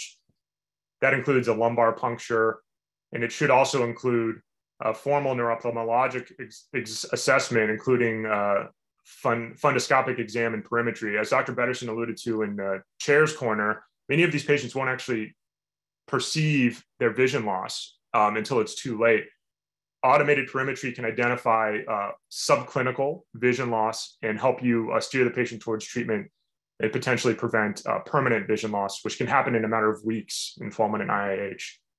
So this is my approach to neuroimaging PT. It's an MR-based approach that I used uh, at UCSF as a fellow. It consists of seven sequences on MR. This was built over years, and it's tailored specifically for the evaluation of pulsatile tinnitus. It includes a 3D uh, T1 sequence, a diffusion weighted image, three dimensional FLAIR, time of flight MRI, MRA, an arterial spin labeling sequence, and something called a TRICKS, which is a time resolved contrast kinetics sequence, essentially functions like a MR angiogram where you visualize flow in the arterial and venous phase. And then most importantly, I think, is a uh, gradient 3D T1 fat saturated post contrast. There's a lot of neuroradiology jargon, but notice we don't have MR venography on here. We use post contrast T1 weighted sequences to look at the dural sinuses. We find it to be much more reliable than conventional MR venography. So in terms of your differential diagnosis, the temporal bone CT is the diagnostic tool of choice for patients with any sort of auditory abnormality and will identify the bony structures far better than MRI. But I would argue that MRI and MRA in this protocol really hits all the rest of the differential and is therefore more effective as an initial imaging modality. The strengths are that it's very sensitive for venous pathology, shunts, and arterial disease, as well as tumors. It can be done in about 25 minutes and it doesn't have any radiation. The disadvantages are obviously evaluation of the bones and middle ear and inner ear structures. It requires 3T scanner and some specialized sequencing and protocoling, which can take additional work. This is an example of ASL, arterial spin labeling here, showing uh, arterialized spin in the jugular uh, bulb and also the uh, transverse sinus. Those were all patients who were found to have dural fistulas. And this is an example of the trick sequence, which is a really beautiful evaluation of the entire uh, venous anatomy, again, using a contrast enhanced uh, sequence. And this was a patient with Eagle syndrome, impingement of the jugular veins by uh, venous Eagle syndrome by the styloid processes. So the endovascular workup for pulsatile tinnitus for me includes diagnostic arteriography to look at shunting and the global venous sinus dominance. It also includes venography and venous manometry. So venous manometry involves measuring pressures at different points throughout the dural venous sinuses and measuring pressure gradients. This is a template I use um, that's very, very comprehensive and basically identifies any source within the dural venous sinuses that could potentially be a site of a pressure gradient. For patients who have really conflicting causes of pulsatile tinnitus, some patients will benefit from something called a venous balloon test occlusion, which I'll talk about. That can help troubleshoot and localize a sound generator on the venous side. When we do this with patients, we ask them to score their pulsatile tinnitus zero to 10 as we do the balloon test throughout the dural venous sinuses, and we look for changes. With the patient being blinded, to where the balloon is at any given time. So it has to be a very objective test. So the concept of the venous balloon test occlusion is that we inflate a balloon at different points in the venous sinuses to look for stenoses, but also structural abnormalities like diverticulum. And unfortunately, we don't have test characteristics know sensitivity and specificity. I would think that the specificity is fairly high. I think the sensitivity is probably fairly low. But when you're troubleshooting a difficult case, it can be very useful. So if you have pulsatile tinnitus on one side with the sinus stenosis, you inflate a balloon in the contralateral transverse sinus, you're effectively redirecting flow through the stenosis. You would expect a patient to report an increase in their tinnitus during the examination. That's one example of how this could be used. Another would be if you had contralateral conflicting uh, potential sources of tinnitus and you weren't sure which was the cause. In that case, you can inflate the balloon at different places and ask the patient to report differences to determine which lesion you might treat. This is an example of a patient who had a jugular bulb diverticulum on one side, but a transverse stenosis on the other side. The patient's tinnitus got much worse when the balloon was inflated in panel D in the left-sided uh, transverse sinus because flow was directed through the stenosis and resulted in increased condylar venous flow. That helped us identify that the jugular diverticulum was likely not a cause of that patient's tinnitus. So treatment approaches. In general, with the proper diagnosis, uh, in our experience at UCSF, we could be pretty successful in treating pulsatile tinnitus endovascularly. In the case of AV fistulas, we had a greater than 95% result, long-term durable resolution of PT. For patients with IH and venous sinus stenosis, still a very good long durable result in pulsatile tinnitus. The key is identifying and diagnosing uh, and selecting your patients properly. So this is a treatment algorithm we used.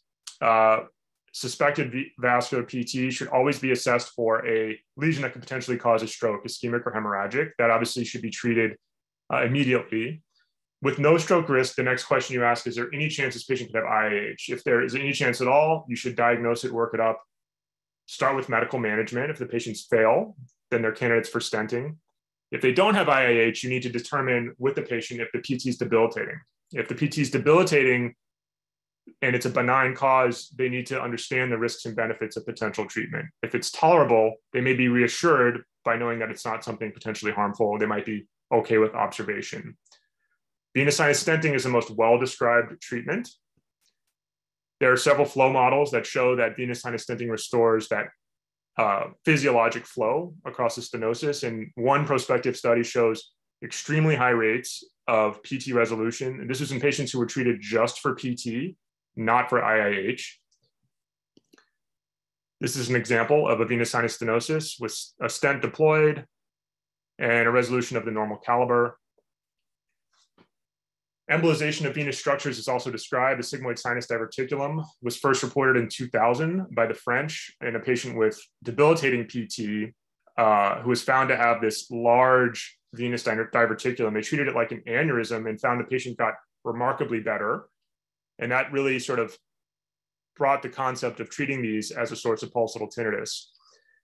Uh, mastoid emissary veins can develop often in IIH when they course along the uh, mastoid air cells. They can be a generator of PT. These are much more ambiguous. In the case reports, they're always successful, but in one series where there were a number of failures, they basically concluded that these are common incidental findings, but you really need to localize them um, as the cause before you uh, offer treatment.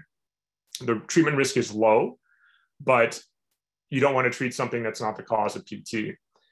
The most challenging lesion is probably jugular bulb abnormalities. These are these lesions right at the jugular bulb. They're essentially like wide neck type aneurysms in terms of morphology. These are classically treated with surgical remodeling, but there are many reports now of coiling of these lesions, often with balloon assistance or even stents. There's even one report of a web device used to treat one of these lesions with good results. I would caution though that putting stents near the jugular bulb uh, has historically carried high risk for stent migration um, not for this indication, but for others. The stent can migrate into the jugular vein and ultimately into the right heart, which can be a catastrophic complication. So this is something you want to undertake with significant caution.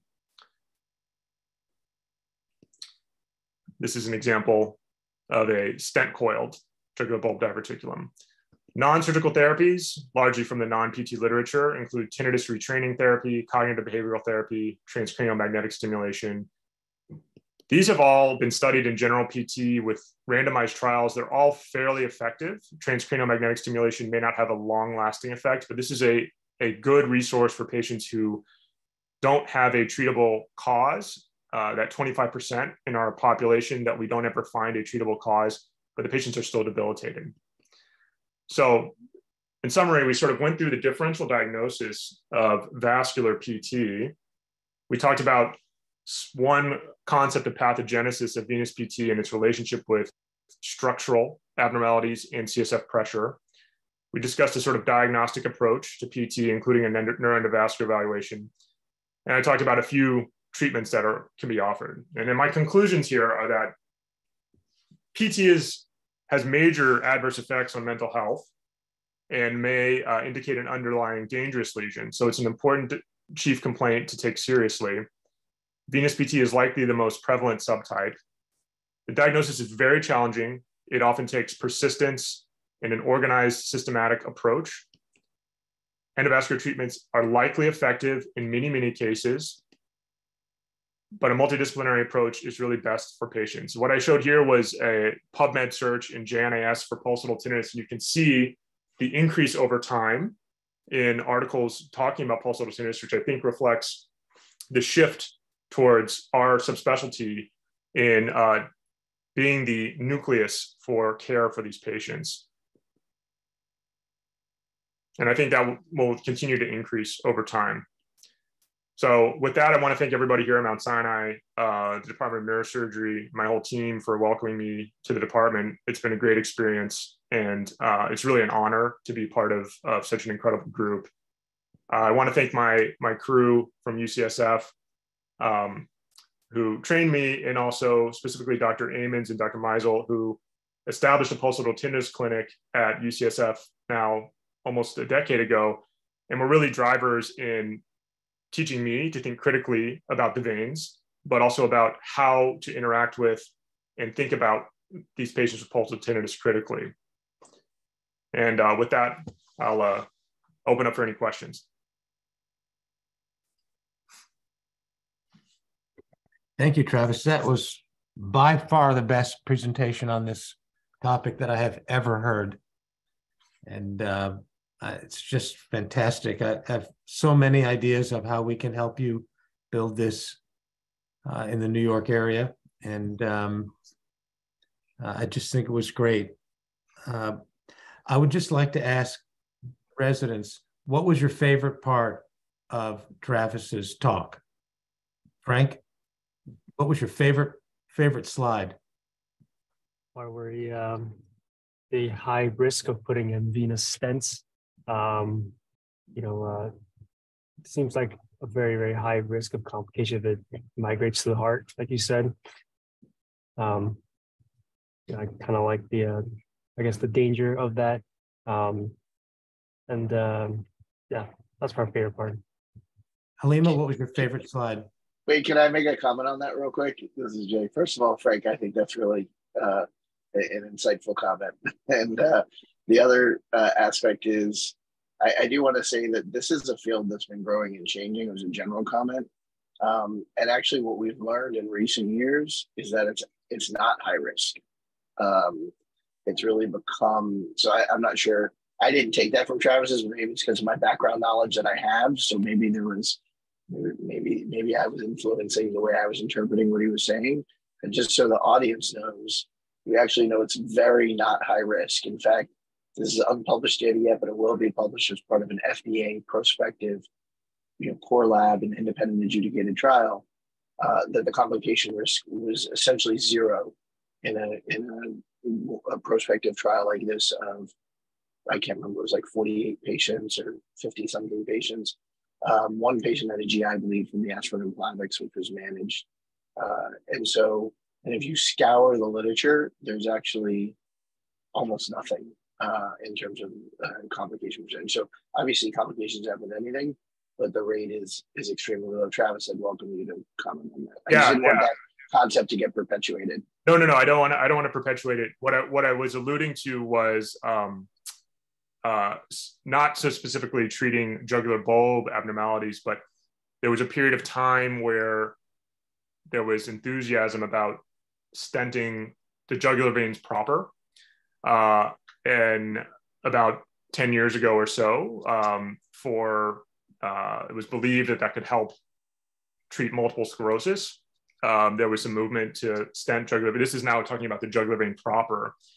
There were some incidences in that literature of stent migration um, uh, to the heart uh, that led to that practice sort of uh, dissipating um, for other reasons as well. Um, with respect to landing a stent within the skull, I think the risks are probably more comparable to dural venous sinus stenting, which we know is fairly safe. This, the challenge is sizing the stents, et cetera. But I agree with you. I, I think the, the, the risk is considerably lower than what was being done before in the cervical jugular veins. Travis, That go back, to slide, go back to your slide 15. Uh, sure. Can you see my screen? No, you got to No. reshare. Oh, I gotta reshare. One moment.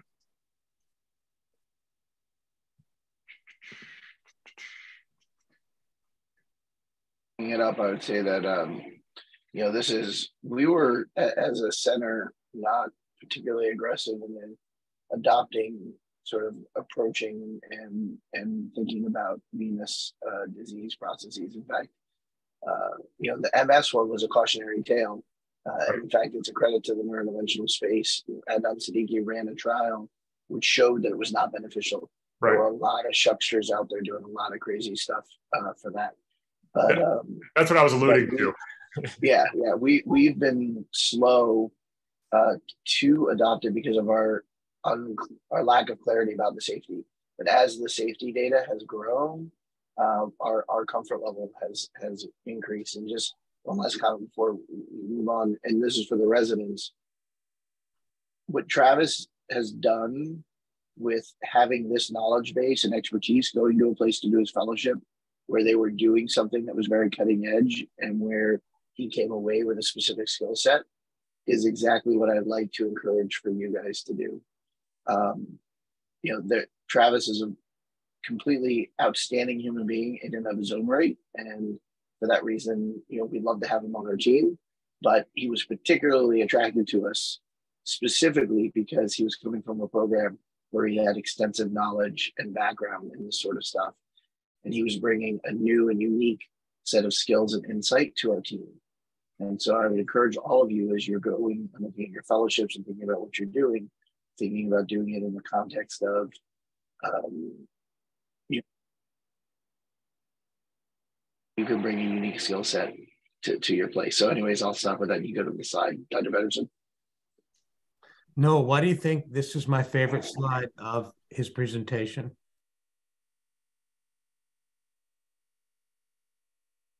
Um, for a variety of reasons. I we know No, that there's only one reason. There's only one reason. Okay, you love anatomy. No, my- no. Okay. Why is this, why is this the most important slide for the residents of this presentation? Emily?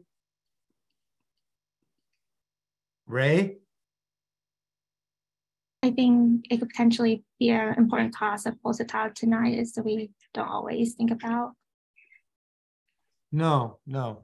It's because he saved this case from his training.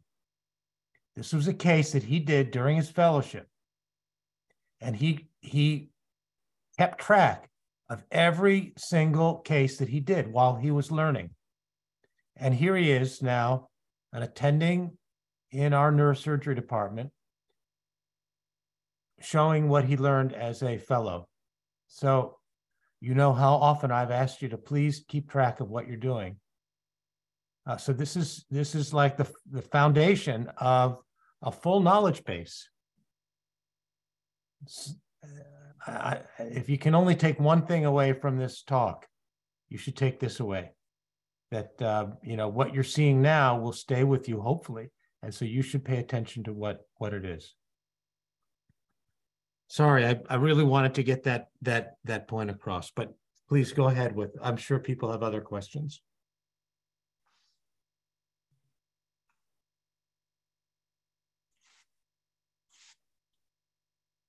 Travis, Hey. Fourteen percent of your cases um, had a high risk angiographic, uh, hand, uh, high risk of some sort of lesion. Um, was that all patients with pulsatile tinnitus?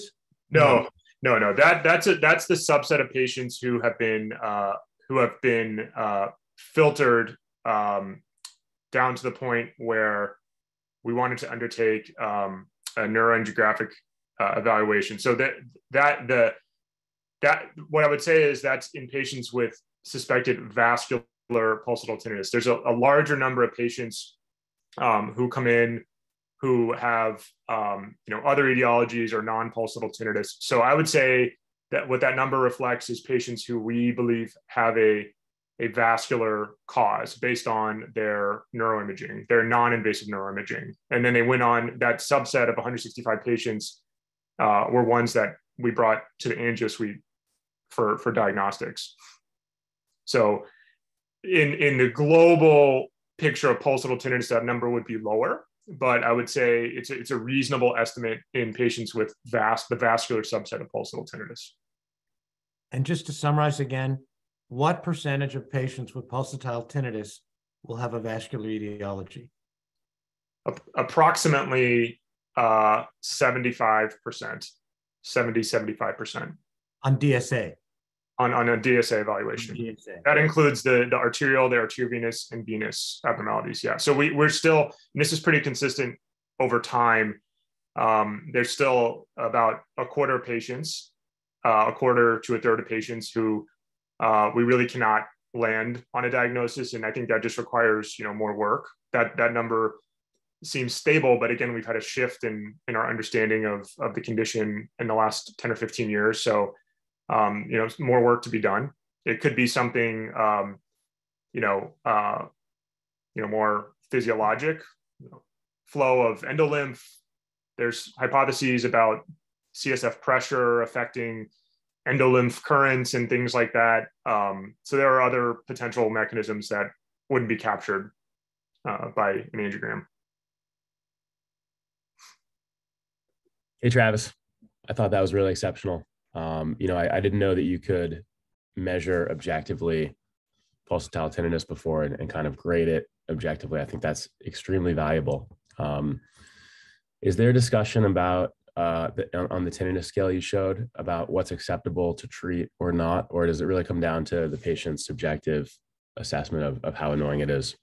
Yeah, that's a really good question. In terms of thresholds, there aren't really good thresholds that are defined. So the the the the index I showed the the tinnitus functional index has um, there's another one called the tinnitus handicap inventory, and it it it gives you uh, buckets like mile. I forget what they are, but I know that the highest one is literally called catastrophic, where if you if you get a certain score on the you know the instrument, um, I thought catastrophic was a little bit of an extreme term, but um, basically it, it's going to come down to how debilitating it is for the, the, the, patient's life and you know what the anticipated risk of treatment. If you have a if you have something you can treat easily and safely a diverticulum for example um, or even a venous sinus stenosis and the patient's really debilitated they're scoring off the charts on their their screening questionnaire um, then i think you have that conversation. Uh, i think it, it really is patient dependent. There are a lot of people who will feel that they can live with it and they don't want to stomach the risk of any procedure. But if they know that it's not going to cause them harm, you've effectively rolled out all the harmful things, including IIH, um, then they'll you know be happy with that. Uh, and I think that's important as well.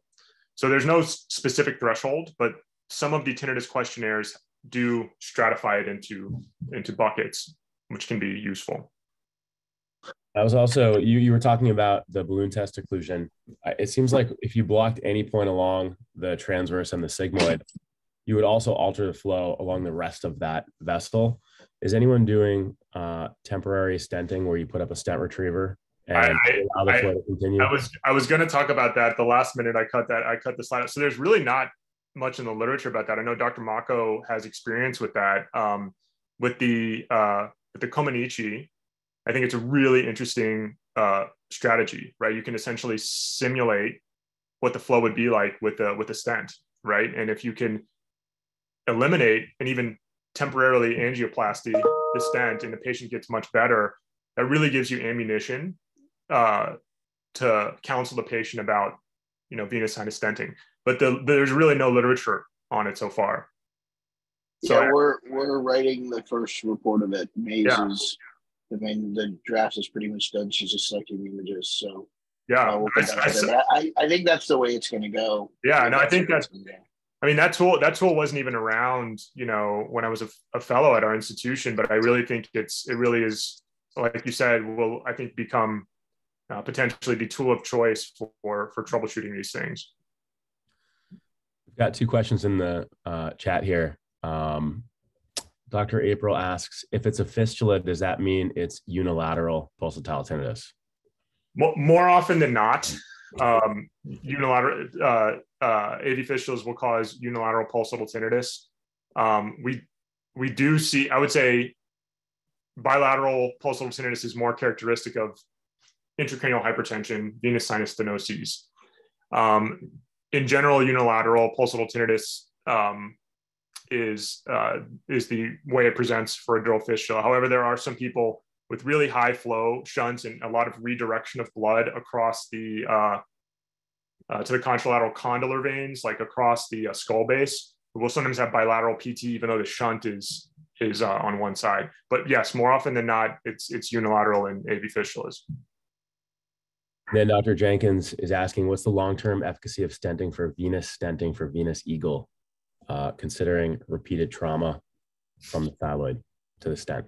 Venous eagle. That so that's that's a really good question. I don't know the answer for that. I would say that you know our practice was um, again a, a, little bit of caution from the literature uh, of jugular venous stenting, which we alluded to earlier.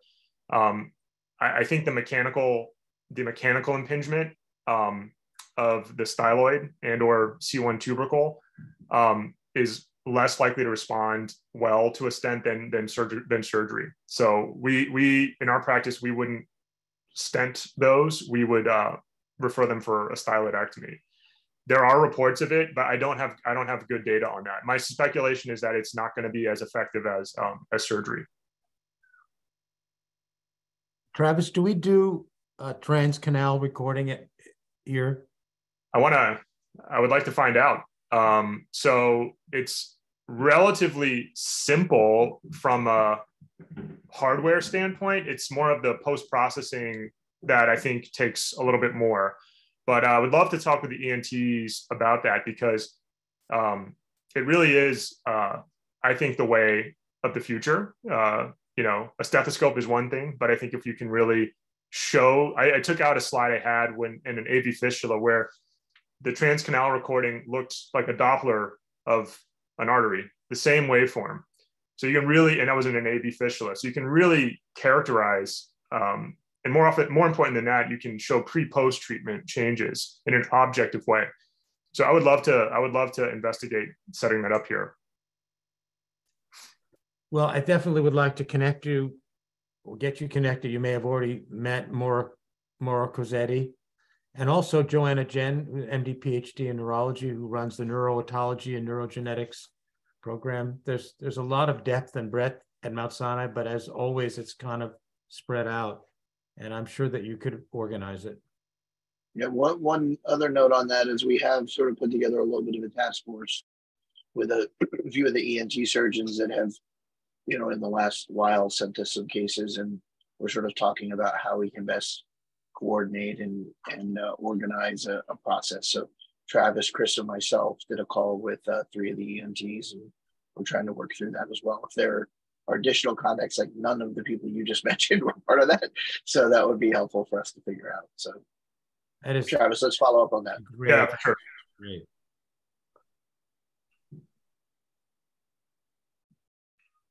All right, we're at nine o'clock here. Thanks so much, Travis. All right. Thanks, everybody. Thanks a lot. Great presentations.